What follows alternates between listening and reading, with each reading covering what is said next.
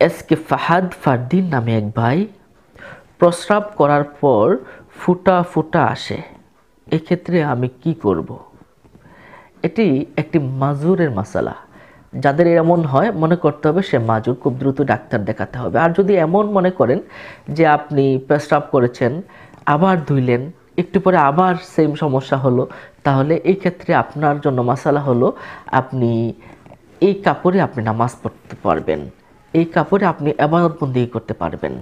আর স্বাভাবিক মানুষের যদি এমন হয় যে একজন ভালো মানুষ, তার এভাবে পড়তে থাকে বা পরে লুঙ্গির মাঝে মনে হয় যে পড়ে গেছে, সেই ক্ষেত্রে আপনি একটু পানির ছিটা দিয়ে দিবেন। কারণে আপনার নামাজের কোনো ব্যাঘাত হবে না। তবে উত্তম হচ্ছে যেটা উলামায়ে কেরাম বলেছেন, মুফতিগণ যে ফতোয়া দিয়েছেন যে এই যাদের সক্ষমতা আছে তারা যেন ওই কাপড়টা বদলিয়ে যেন আবার নামাজ আদায় করে। লিজা রহমান নামে এক বোন প্রশ্ন করেছেন, নামাজের দোয়া না পারলে নামাজ হবে কি? বোন, আপনাকে খুব চেষ্টা করতে হবে। যেন আপনি খুব দ্রুতই নামাজের সমস্ত দোয়াগুলো আপনি খুব দ্রুতই মুখস্থ করে নেন তাশাহুদ, দুরুদ শরীফ, দোয়ায় মাসুরাগুলো আপনার খুব দ্রুতই শিখে নিতে হবে, চেষ্টা করতে হবে যে আমি খুব দ্রুতই চেষ্টা করছি কিন্তু পারছি না।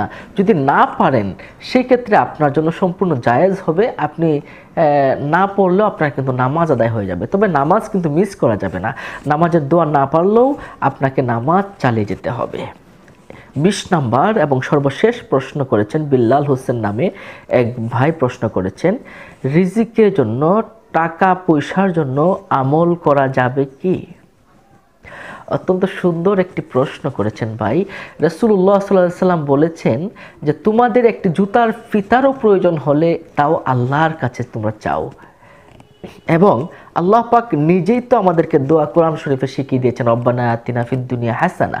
হ্যাঁ আল্লাহ, তুমি আমাদেরকে দুনিয়ার কল্যাণ দান করো অফিল আখরাতে হাসানা এবং আখেরাতের কল্যাণ দান করো।